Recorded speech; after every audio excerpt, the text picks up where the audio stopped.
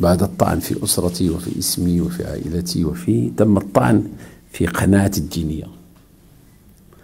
لأنني قلت في البرلمان أن النقاش فيما يخص شهادة المرأة هو نوع من الخوى الخاوية وأنا ما زلت مقتنع بأن مناقشة هذا الموضوع مضيعة للوقت. أولا أن المرأة الآن تمارس خطة العدالة.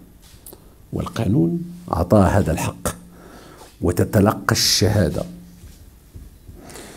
بعض الجهلاء لا يفهمون ما معنى أن تتلقى المرأة الشهادة وأصدروا أحكام قيمة في مواجهتي إلى درجة كبيرة. أولا هذا القانون كان قد تم وضعه في عهد السيد الوزير محمد أجار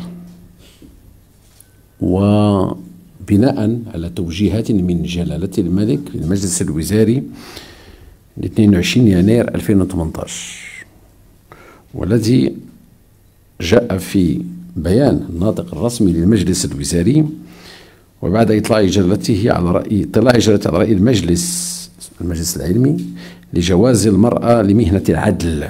بناء الأحكام الشرعية المتعلقة بالشهادة وأنواعها والثوابت الدينية للمغرب وفي مقدمة قواعد المذهب المالكي واعتبارا لمصدر المرأة المغربية من تكوين وتثقيف علمي رفيع وما أبانت عنه من أهلية وكفاءة واقتدار في توليها المختلف لمختلف المناصب السامية وبناء على ذلك كل على ذلك كلف جلالة الملك عزه الله وزير العدل بفتح خطة العدالة أمام المرأة واتخاذ التدابير اللازمة لتحقيق هذا الهدف.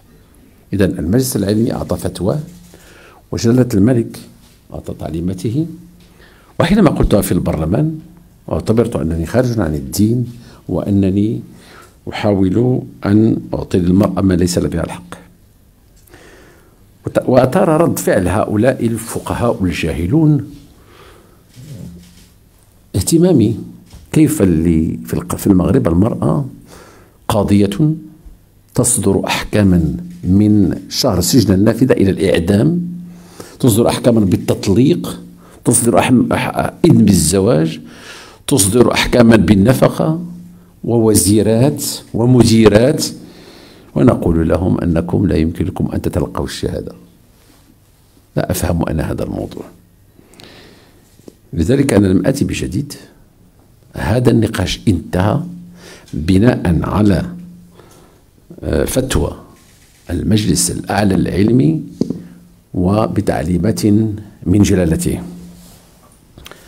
كل ما فعلته أن أعدت النظر أعدت النظر في في القانون العدول فيما يخص مجموعة من القضايا الأخرى التي لا ترتبط بهذه القضية.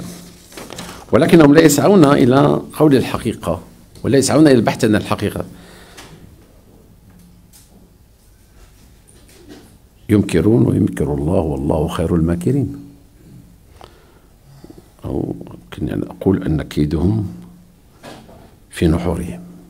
أما أنا فمؤمن بالله وبرسوله وباليوم الآخر لتقدير كثير من القضايا اختلف فيها الناس حول الدين وأنا مختلف معهم وأدافع عن قناعتي ولكن لن أقبل لأي كان. أن يمس بقناعتي الدينية وباستقلاليتي في إيماني بالله وقرآنه.